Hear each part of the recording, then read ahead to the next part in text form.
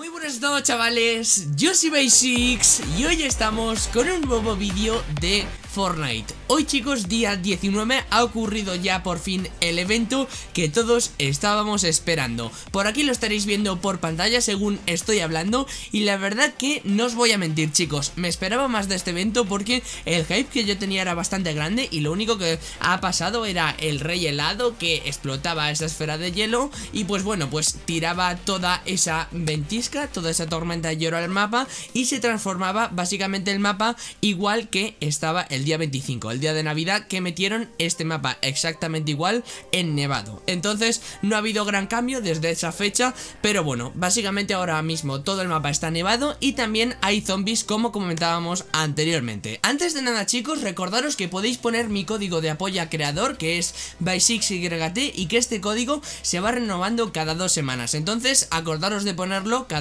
dos semanas y de verdad chicos que esto me ayuda muchísimo. Y somos de verdad muy poquitas personas que estamos apoyando. Así que chicos, por favor, poner este código que no os cuesta nada, es totalmente gratis Y os digo de corazón que me apoyáis muchísimo. Y también chicos, recordaros que dentro de nueve días vamos a hacer un sorteo de mil pavos en Fortnite. Como no me quiero repetir mucho, simplemente hay tres requisitos para hacer en el sorteo. El primero, simplemente estar suscrito al canal. El segundo, dar me gusta a este vídeo Y el tercero, por último, poner un comentario positivo. En este vídeo tenéis que poner un comentario acerca de colores favoritos que tengáis vosotros. Por ejemplo, el mío es el azul y el morado y vosotros podéis poner azul, morado, amarillo, violeta, cian. Este evento únicamente no ha traído el cambio de mapa y los zombies que ahora están, los zombies helados en Fortnite. Y de hecho, estos zombies helados se relacionan con los desafíos de la tormenta de hielo que en los anteriores días Pueden ser que sean los reales que van a estar en el juego porque estos tres que ya conocemos ahora mismo si entramos en el juego, pues eran tres de los cuales se habían filtrado en toda esta lista que os había dado. Vamos a comentar cada uno de ellos y vamos a concretar qué deberíamos de hacer para conseguir ese desafío. Para empezar, pues el más obvio sería completar los desafíos de la tormenta de hielo, que tendríamos que completar seis desafíos para que nos den el grab de azul metalizado. El siguiente desafío nos darían 500 de experiencia y sería destruye a 250 demonios de hielo. En el anterior caso que yo os comentaba esta misión también no estaba ordenado, por lo tanto pues os lo comentaría al final o algo por el estilo. Y la siguiente misión sería inflige daño a la legión helada con armas explosivas, 5000 de daño que tendríamos que hacer para conseguir 500 de experiencia. Entonces chicos, ahora vamos a comentar el resto de misiones que deberíamos de hacer para conseguir este a la delta tochísimo y también deciros chicos que estas misiones puede ser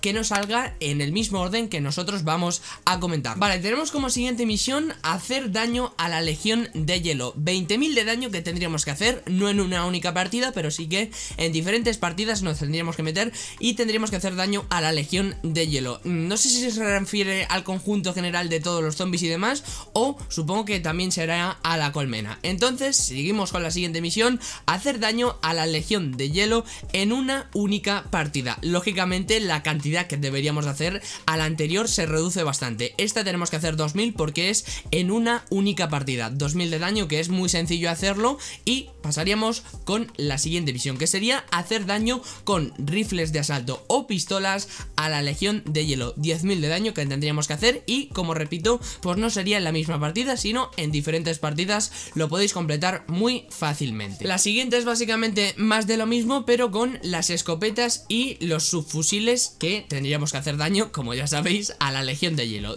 otros 10.000 de daño que tendríamos que hacer y las recompensas, como os digo chicos, todavía no se han filtrado, pero estar activos al canal porque seguro que muy pronto lo hacen. Siguiente misión, tenemos destruye a colmenas de hielo en diferentes partidas, tendríamos que destruir 10 colmenas de hielo, estas colmenas pues son básicamente las que hacen spawnear a los zombies. Destruye miembros de la legión de hielo, 300 zombies que tendríamos que destruir para completar esta misión. Todo de momento me está pareciendo asequible y sencillo, no te tienes que ir a 80.000 localizaciones Pero bueno, continuamos. Destruye a 100 brutos de hielo. Yo creo que con brutos de hielo se refiere a el zombie 1 más evolucionado que el zombie normal O sea, la evolución del zombie normal Y después tendríamos destruye a miembros de élite de la legión de hielo. Pues yo diría que es el más uno de los más evolucionados de estos zombies. En penúltimo lugar tenemos destruye a 20 brutos de hielo de color dorado. Y por último chicos, destruye demonios de hielo a distancia. 150 demonios de hielo